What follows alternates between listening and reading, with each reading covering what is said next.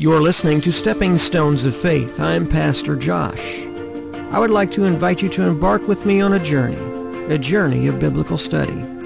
Through practical application of the Word of God, it is my prayer that you grow in greater relationship with God through His Son, Jesus Christ. Please join me as we journey to the next Stepping Stone of Faith. I'm Joshua Denoyer, and you're watching the Stepping Stones of Faith Bible Study Time. With me today is Shannon Bale, and we're going to be going into Psalm 1. Hey, Shannon, good to see you. Hey, good to see you too, brother. Yeah. Yeah, we've been we've been uh, we we're going to start in this thing. Hopefully, we can do this on a regular basis if you have time to do that. I want to do a walk through the okay. Psalms. Um, uh, that way we can get we're going to, and we're going to uh, walk through Psalm one today. I want to give a backstory for those of you that have never seen, never have uh, been on here before. What a walk through the Psalms looks like. A walk through the Psalms is basically where we go through a psalm, we pray, we see what God wants us to do through a psalm. We look at that psalm, we study that psalm out for a week or so, and then we come back together. We dissect it and talk about it. And I always start with Psalm, excuse me, with Psalm 1. I always start with Psalm 1, and then I move on down to whatever God leads me from that point. And I got this idea, just so back more of a backstory. I, I heard somebody, a missionary, tell me years ago that every fall in his where he was at in his area, falls falls and springs and stuff are different in some areas. I believe for you guys it's different. Summer's different than it is here, and fall is different than it is here. But every fall where he was at, he would go through a walk through the Psalms and he would read Psalms as the Lord would lead and study them out. And he grew in in really knowledge of the Psalms. And so I thought, well, that's really cool. I want to try that. So this is where that stems from. And so I want to try to do that with my friend Shannon today. And hopefully we can do this. If you have the time to do it, we'll do this on a regular basis. I don't know if you'll have the time to do that or not, but we'll go from week to week and see how see how things go. How's that sound? Sounds good, brother. All Sounds right. great. Now, if you have a Bible handy, go ahead and open up with us to Psalm chapter 1 and uh, we will start there. But let's open up with a word of prayer. All right. Father, we thank you today for, Lord, your grace and your mercy. Father, we thank you for, Lord, our ability to come before you with boldness, our ability to come before you seeking knowledge with humble hearts to just gain, clean, uh, glean a greater understanding of you through your word. Father, help us as we study this word to our hearts be enlightened, our souls to be enriched. And Lord, those that watch, that Father, they would be enriched and they would be enlightened and others would come to know you through this study. And Lord, we thank you and we give you praise in Jesus' name. Amen. Now you Amen. are you are in Africa. South Africa. Botswana. In Botswana or or outside Botswana? No, I'm in South Africa. We are missionaries. My wife and I, Becky, are missionaries to Botswana, Africa. But uh, we weren't able to get our uh, the papers that we needed once we got here to get our visas. So we had to move to South Africa. And since we moved to South Africa, as everybody well knows, COVID-19 hit.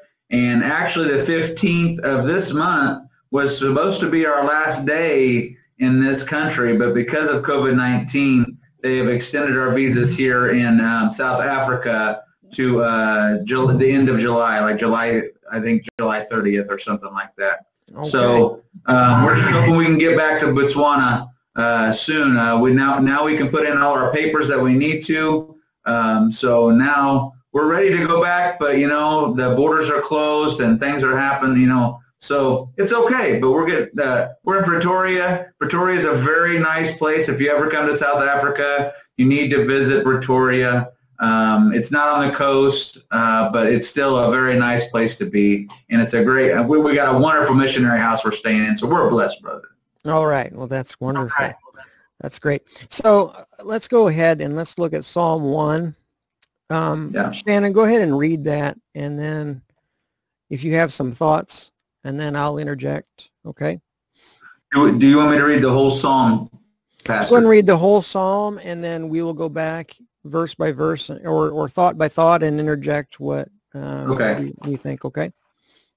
Okay, I'll just let the people know that I'm reading from the New King James Version, of the New Spirit-Filled Life Bible, just so you all know where I'm reading from.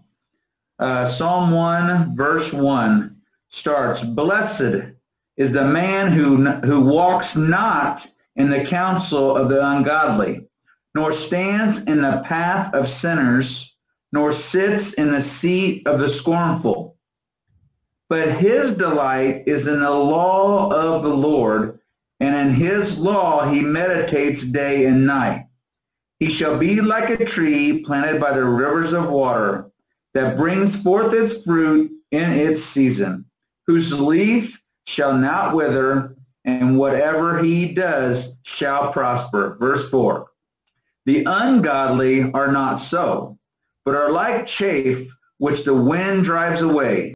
Therefore the ungodly shall not stand in the judgment, shall not stand in the judgment, nor sinners in the congregation of the righteous.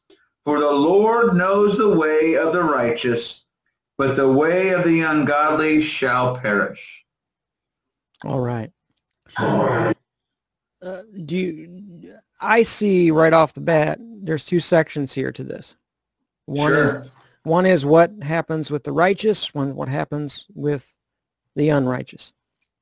Yeah. Um, and I want to bring out some things, unless you had something you wanted to bring out first. And I no, don't want to right steal, ahead, Josh, and, I, will key off of you. And I don't want to steal your thunder if I if I if we kind of working in the same grain here. It says, "Blessed is sure. the man," and I'm and I'm reading from the modern English version. It says, "Blessed is the man who walks in the counsel, who who walks not in the counsel of the ungodly." Uh, we want to look at for a moment what is the ungodly. What what does mm-hmm. it mean for someone to be ungodly? Well, when you when you look at that word, you you automatically think of someone who is really bad, who is really, yeah. really, you know, what society would say was horrible in in society, mm-hmm. but really in in in scriptural standing, the ungodly is just anybody who doesn't know Jesus. The mm-hmm. ungodly is anybody who says, "Well, I'm a moral person. I don't need to go to church.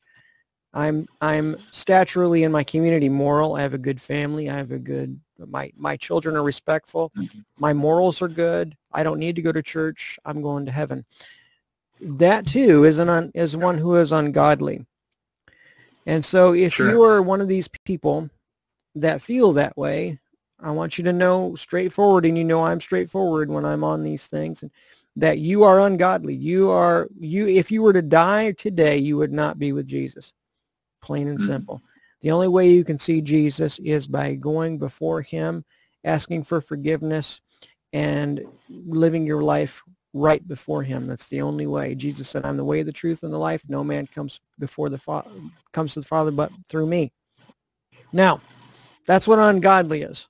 So when you uh, blesses man who walks not in the counsel of the ungodly. So blessed is the man. The opposite of that then would be the man who walks in the counsel of God. Right. How do we get into the counsel of God. Shannon, Shannon, I want to ask you, in your perspective of, of, of your of your life, how does a person approach the counsel of God? What do they do to to how do you get into walking the counsel walking in the counsel of God? That's a very good question, Pastor Josh. Uh, I would just like to point out what counsel actually means before I even speak to it. I looked it up in my uh, in, in the dictionary and it says it, it's it, it's advice uh, somehow to get something to plan for, uh, to counsel, to purpose, to get counsel or advice, to get advice.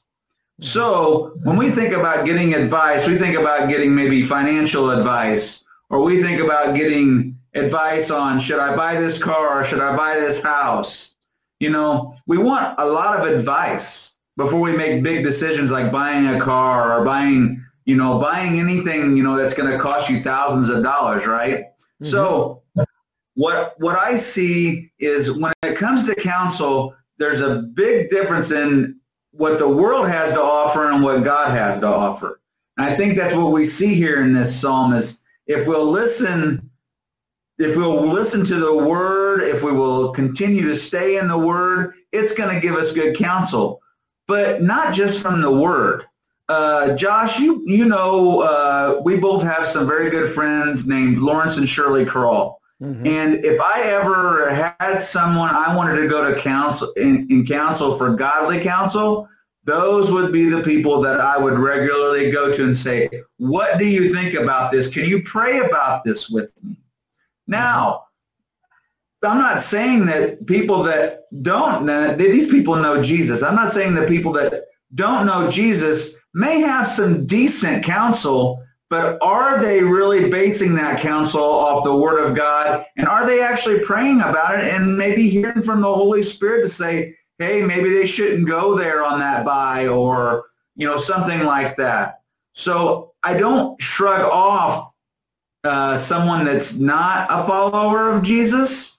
I listen to them. Mm-hmm. Uh, I try to build a relationship with them. But a lot of times their counsel will not hold very much um, uh, meaning to me. I'll listen to them. I'll put it into effect. I may even pray about it to see what God has to say about it. But more than likely, I'm going to seek out wise counsel for things in my life from believers and uh, my wife. I mean, she's a good person of counsel for me. She knows all about me. So that's what I think. What where the difference is, brother, is uh, is whether they know the word and they're going to give you good counsel. And we both know it's better to have more than one person like that. Mm-hmm. We need to have many people we can come to uh, as as our counselors mm-hmm. that we may understand where the Lord's leading us in our life. But the best one is the Holy Spirit. He's the best right. counselor. So so what you're saying is what I what I'm hearing you say is that you would you would you would take counsel from someone who you would you would listen to someone who isn't necessarily a Christian, but you would take you would approach it as taking it as taking it under advisement or taking it into consideration, more as someone says to you, "Hey, I think you need to go buy that car." Boom, that's from God. I'm going to go buy that car. Whereas you would you would take that and say, "Well, I'm going to make sure this is from God. Take it under consideration and pray." That's what I'm hearing you say, and I think I think that's what you are saying, and and that's a good way to a good way to approach it. I don't think we should shun people's um, advice. I think we should take it under consideration in every in every avenue, Christian or non-Christian. Sure. But I think we would we would be more apt to lean toward the advice of a Christian because it should confirm some things in our in our life yeah, in, in our in, yeah. in, in our in what we're already doing. But as far as like a non-Christian right. thing, we could take it under advisement and say, hey, I'm going to make sure this is of God, pray about it, and see what happens. And then, you know, you're not shunning them, you're just taking it under advisement. Right. So, so that's that's really good. Now, now it says, walk walk not in the counsel of the ungodly, nor stands in the path of sinners, nor sits in the seat of scoffers. I see this as somebody who places themselves in the same standing, a, a Christian, placing themselves in the same boat, we might say, as someone who's a non-Christian or someone who would scoff at Christianity or scoff at God or or you know sit in the seat of scoffers or stand in the path of sinners. This isn't like this. This isn't. David is not saying, "Hey, I'm going to stand in your way and you're not going to get to God. You know, I'm going to make sure you're you're you're hearing the word of God. He's not saying that. He's saying we're standing in the same way. We're standing in the same same mindset as the sinners. So as sinners or people who are ungodly. And so he says, a person who is blessed is a man who doesn't do these things. Because right. one of the things that I find in in my ministry and in my life is that um, if you place yourself in in the seat of in the path of sinners or seat of scoffers, or if you place yourself in in in a lot of understanding with with people who are who are not of who, who are not don't have the understanding that we do of God, eventually that will change your perspective on God. Eventually, it will cause your perspective to be different than it than it was once before, and it's simply because you're you're allowing yourself to be put into that situation. Um, maybe it's unwittingly. Maybe the whole point of um, and and there's some people who are who have a good heart at the beginning and say, well, I want to minister to people. It's like um, people that that go into into and do bar ministry. They go into bars, and a lot of uh, people that are uh, previously alcoholics will go into bars or stand outside of bars and try to minister people to people coming in and going out. That is got to be a true call of God because you're in dangerous ground. And so you could have a heart to minister to people and then eventually you are, you know, walking away from it and being affected instead of affecting people. We see that in the book of Galatians with uh, Peter, you know, get, being affected by the Judaizers changing things and saying, you know, you, you, you also need to follow the law to follow Jesus. And, and we know all of that. So that's a perfect picture of that, you know. And so we can have a good heart, a good start at it, and then just end up letting the the the opinions and thoughts of others begin to carry us away, and then we go on to the next yeah. one. We go into the uh, next. Just just just to piggyback a little bit off of that, Josh. Um, I I I what came to mind while you were talking about it was what we hang out with, we become. Mm-hmm. You know, what we surround ourselves with is what we become, whether we try to or not. It's right. just, I, I think, our nature as human beings. We are not perfect so we will lean towards the not perfect. You know, it's that that's usually the easier easier way, so to speak. Yeah. Well, you know, well, um, well, it's it's much easier to get a loan for a car than it is to save up for a car and pay for it cash. You know what I mean? Mm-hmm. Uh, I I'm just I'm just using these as analogies, obviously, but I'm just saying, you know, that's that's just our nature, and if we continue to hang out with the you know with you know, the scornful, those that sin against God that are, uh, um, if we're if we're hanging hanging out with Satanists all the time, what what what are what are the people that we uh, are that are believers we hang out? What are they going to say? You right. know, why are why are you doing that? You know, mm-hmm. I'm not saying that we should go into the world and win these people to Jesus, but to get our counsel and to hang out with them on a regular basis, like I would do with you every week, uh, that I don't I don't think that's very wise. Well, and and it's it's like the, it's like the scripture says. It says that you know bad company corrupts good character. You right. Know? And so you you put yourself in in the company of bad you know in in the area of bad company, regardless right. of your of your intent and of your heart. Eventually, sure, it's going to because it's easier. Yeah.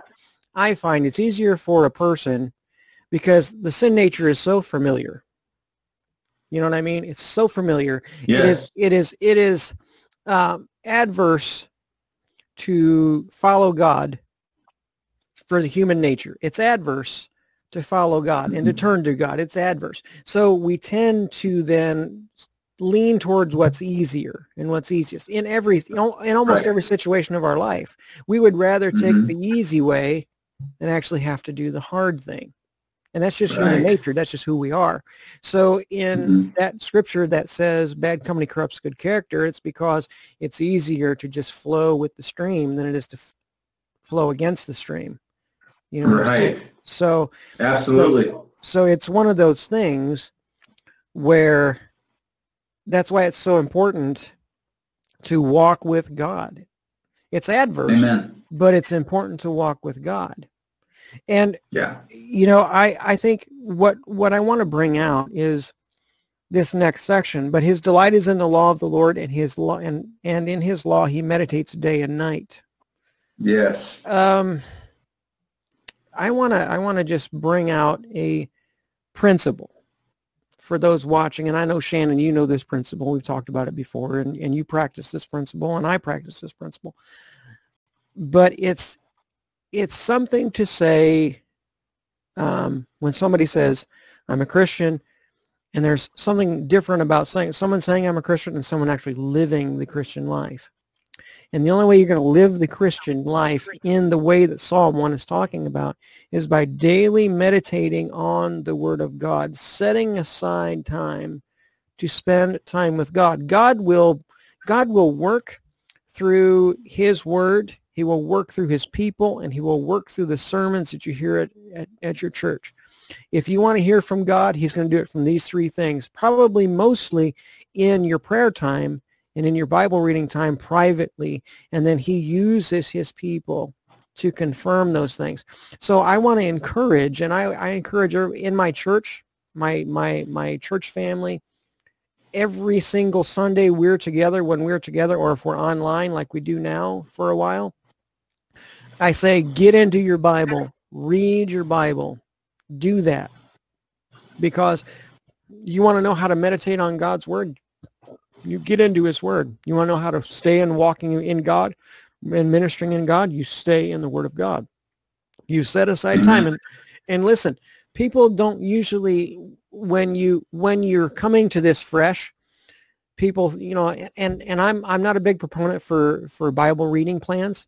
I do do one, but I don't I'm not a big proponent of pushing people here read a Bible reading plan.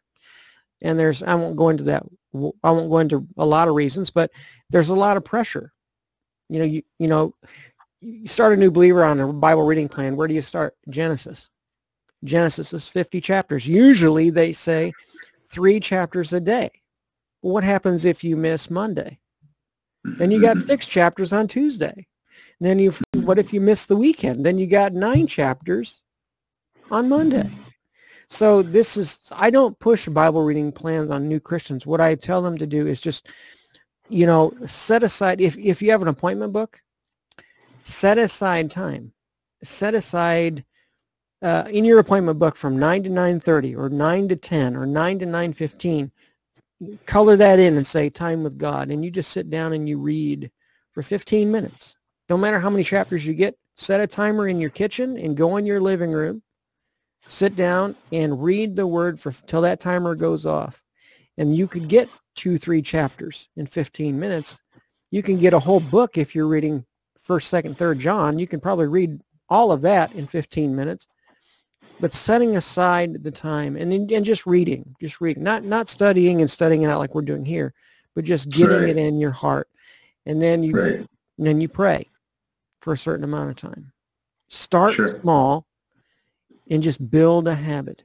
Start small yes. and build a habit. And then you know what'll happen? God will begin to use his word to speak to your heart. So that's how you meditate daily on the word of God. I want to encourage those that are watching and I want to encourage both of us to keep doing what we're doing.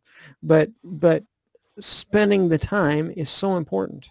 That's how we stay in the counsel of God. That's how we resist walking in the counsel of the ungodly. That's how we resist sitting in the seat of scoffers. That's how we resist being in the path of sinners being in the Word of God. It's so important. It's so important. Very it's, much so. It's like eating breakfast, lunch, and dinner. If you didn't eat breakfast, lunch, and dinner for a few days, for a weekend, what would happen to you? You would be so very weak hungry. and tired and very hungry.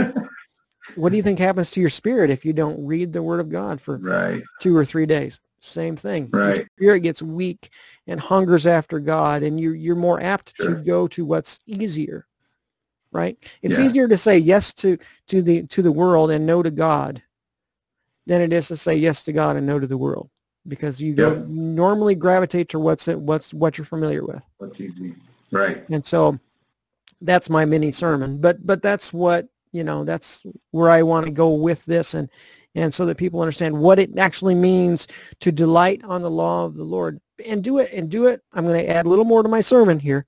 Do it with a joyful heart you'll get out, you'll get more out of it if you do it with a joyful heart. If, if you sit there and say, it's nine o'clock, got to read my Bible, you're not going to get anything out of it. But you, but you have to really come into this and say, I, I'm, I'm eagerly, prayerfully considering this and what God is going to do. I'm expecting God to speak. If you come into it like that, God will show up every time, every time. And it's all about attitude. It's all about attitude too. It can be about attitude too. So what do you think about that? Yeah, you know, um, I once again, you gave this scripture to me just last yesterday. Well, it's been last night for me, yesterday morning for you. but uh, as as I got into my study time this morning, after I got done with my uh, with, with my walk, um, I couldn't help but uh, look up what meditate means. What does it mean to meditate? And it has a little bit more meaning than just uh, of reading our word. It actually means we. Um, I was looking, like I said, I'm going to paraphrase a little bit. It's not going to be word for word. This is Shannon's paraphrase, but meditating means to ponder, to think about what it is you're reading. Uh, many times in the Psalms, and you'll find out as we go into Psalms, there'll be a, a, a interlude or a Selah.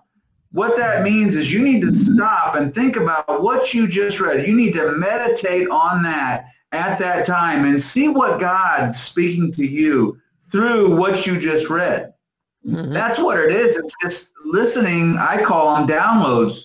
Uh, a download from God. He is ready to speak to you. Mm-hmm. I'm not telling you you're going to hear some audible voice.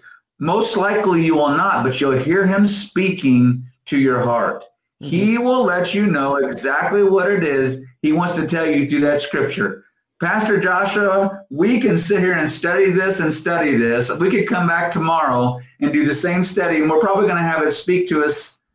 It, it has the same meaning, but it's going to speak to us different because we've had a different day. Mm-hmm. So oh, yeah. that's where the meditating comes in. Let it sit there and wash over your mind and your heart. You know, they're connected. The mind and the heart are connected. So we need to let the word wash over that. And as we meditate on it, as we ponder it, as we speak it, I had a good friend of mine uh, tell me one time when I was youth pastoring in Clinton, he said, Shannon, I, I started prayer meetings uh, for, for the youth group.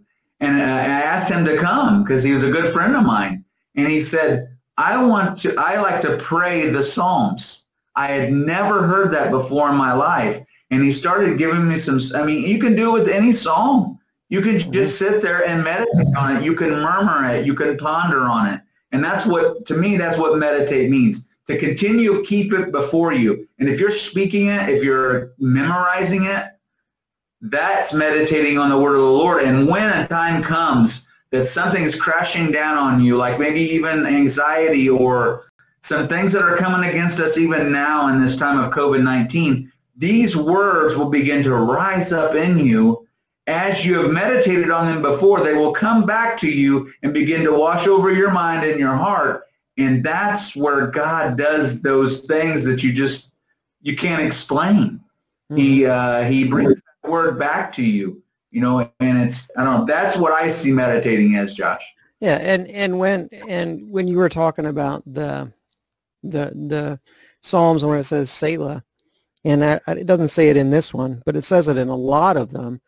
Selah right. traditionally was a musical pause, and musical pause was meant in any in any song there's always like a there's always like a like eight eight or four bars of just music and when they had when david was writing these and he said selah he would there was a musical pause that was meant to to focus on and think about what you've just what was just said or what was just mm-hmm. sung and and mm-hmm. then then we bring that up to today 2020 we're at may 16th 20. You're on May 16th, right? Or are you May 17th now? Yes, still May 16th. 16. Okay. So May 16th, 2020, what do we have going around us?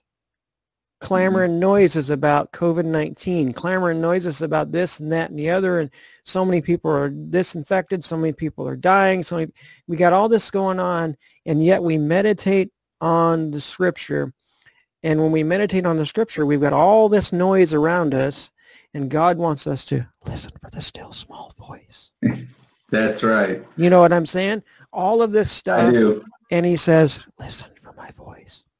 I I had brought up a I had brought up a um you did you watch Smallville when it was on? No. Smallville was was a show it was Clark Kent's adolescence and, and growing up.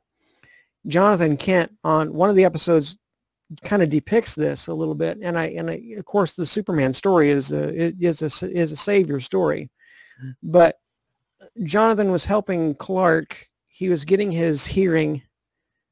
He was he was developing his his hearing, and he he began to hear everything. I mean, everything was going on. He was hearing screams. He was hearing stuff, and and so Jonathan was trying to help him to hone in his hearing, to fix you know to to control it.